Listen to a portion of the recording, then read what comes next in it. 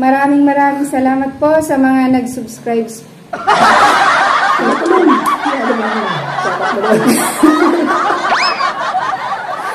Maraming maraming salamat po sa mga nag-subscribe po sa amin. Subscribe.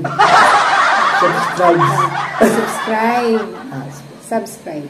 Sige tuloy. Okay. Maraming maraming salamat po sa mga nag-subscribe po sa amin. Ah, si, noong November 8 po, nagkaroon po kami ng 105 Subscriber. subscribers.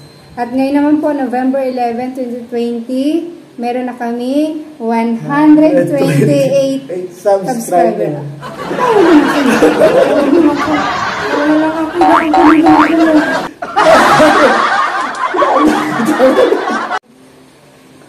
May nagpa-shoutout po sa amin.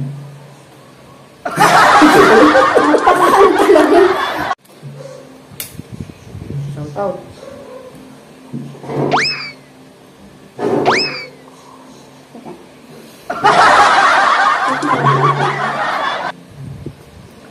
Oh, may nagpa-shoutout yata sa akin. Sino, sino, tingnan mo yun. Siyempre, wala tayong hawak na ano. Yung cellphone. Hindi ako nag wala. Pa- Pasalamat muna tayo. Ah, pasalamat ka na.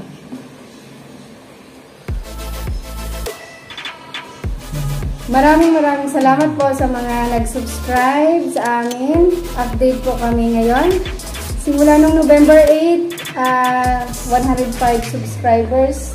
Ngayon, November November 11, 11, 128 subscribers na tayo. 128. 8. Salamat po sa mga nag-subscribe at magsa-subscribe pa po. may shoutout tayo, mami. Meron. Ano ka ba? Meron din akong Magpapa-shoutout tayo. Sa akin, meron din. Ah, meron. Okay.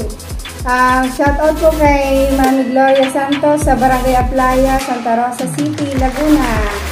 Sa sabi niya, ah, shout out daw ang mga ah, kamag-anakan niya at yung buong pamilya niya. At saka kay Ma'am Jasmine Figue- Figueras at saka kay Jen Villamel ng Barangay Aplaya. Sa akin, yung nagpapa-shoutout sa akin, ah, taga Dubai, si Gian Car. Carlo. Saka si Aaron Alaman ng taga-lokal naman na siya, taga-lokal naman siya na Aplaya. Eh, hello taga Dubai at saka sa lokal ng Aplaya.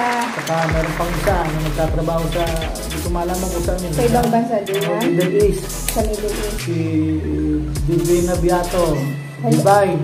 Hello po, Ate Dubai. Salamat sa pag-subscribe. Ingat ka dyan. Ingat